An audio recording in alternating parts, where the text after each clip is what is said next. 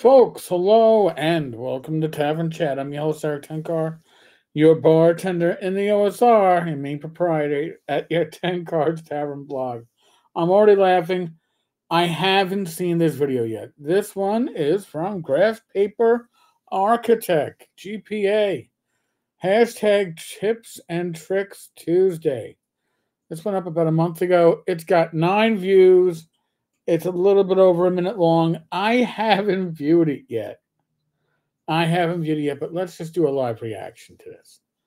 I think it's going to be spot spot on spottish on scottish on i don't know let's let's let's take a peek let's take a listen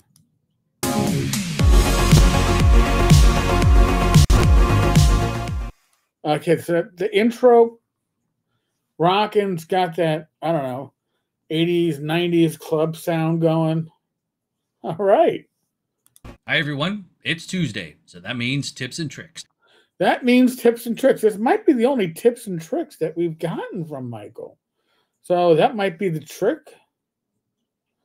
Or, or uh, maybe there, maybe I want, maybe one of the other ones was one of the, I don't know you know, he, he's not very prolific, but let let's we're already already nine seconds in.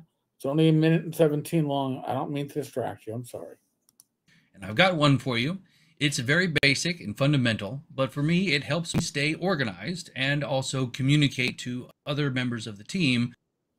Now, when you are a team of one, just saying, um, because I believe that's what this case is, uh, is it to me, myself, and I? Is that like handshake contracts? I, I don't know. Uh, I don't. know. When something was done, and that is dating. I don't mean going out and having coffee. I'm talking.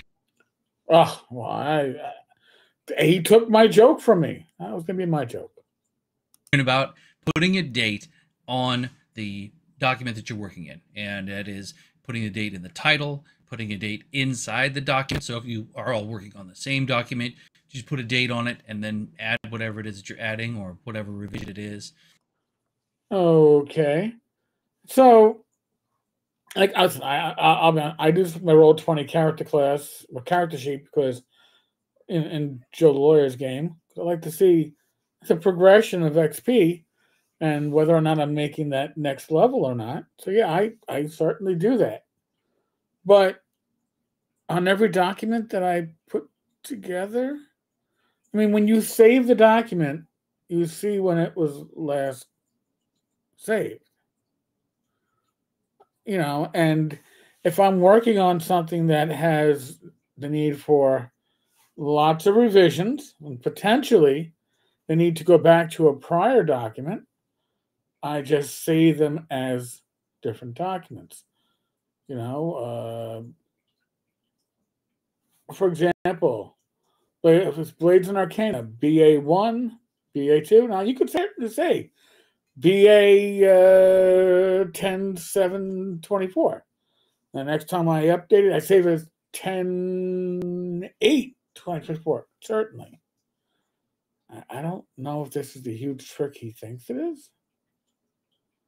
I mean, Again, these things are dated. And if you put it in Dropbox, if you put it in Dropbox, you can get your last, I don't know, dozen revisions. And I know there are many other tools out there that allow people to see, you know, when something was edited and the last person that edited it. But for me, right, it's, if you're using, uh, I don't know, Google Docs or something like that, if you're using uh, applications that allow more than one user to edit a file, it usually keeps track of all this stuff. So, again, but, all right. Now, the issue would be if you're putting this in the document itself, when you go to turn that document into a finished product, you got to remember to take out all these dates and timestamps that you're adding to the document itself. Not the title of the document, the text of the document, if that's what he's saying. I'm not quite sure what Mike is saying. For me, I'm a little old school, so I like to have it written in right there so it's very easy for me to see. Never mind, written in there right there. So it's easy for him to see. So yes, you have to make sure you edit that stuff out. When you move it on to your editor, I don't think he wants to see that shit. I also date my folders so that it's very easy for me to find out if I'm on the latest revision of something or if I haven't worked on it for a while. That way I'll know. As opposed to looking at the date. The all right, never mind. And that's it for Tips Tuesday. I hope you have a wonderful week and have a great time making your designs. Until next time, friends, good journey. Well, that was but the music is rocking. So let's just take a a quick trip. How to maximize your time for game design from nine days ago but it doesn't have a Tips Tricks Tuesday thumbnail, nor does the How to Find Focus and Motivation for Game Design from seven days ago. And again, that, that nine nine views is going to be ten now. So yeah, I mean, it just goes to show that those that can do and those that can't um, attempt to teach. I'm sorry. I'm sorry. By the way, there's going to be a special live stream tonight. Don't miss out. It's going to be myself, Don, and Tom. We are going to be going over some very interesting tweets, and uh, we're going to try to play characters. I know, I know. It's been said you shouldn't do characters on lives. We're going to do characters. I'm going to I I don't know what I I know the character I want to play, but I I don't I don't know if I can be that pompous. But we'll see. All right, folks. On that note, uh, be safe, be well. God bless. Roll those dice, roll them well. Hopefully, I see you tonight.